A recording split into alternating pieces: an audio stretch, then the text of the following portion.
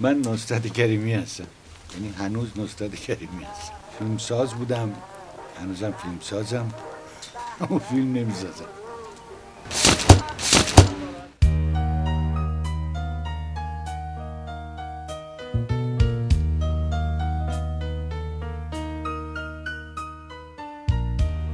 زردها بیهوده قرمز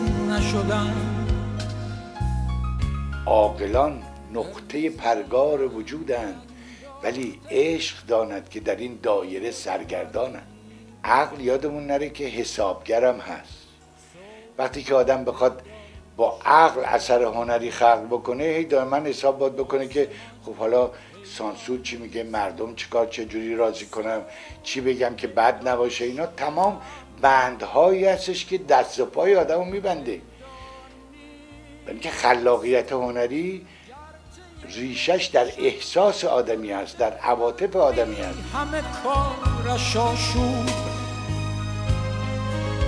بر سر شیشه هر پنجره بگرفته قرار.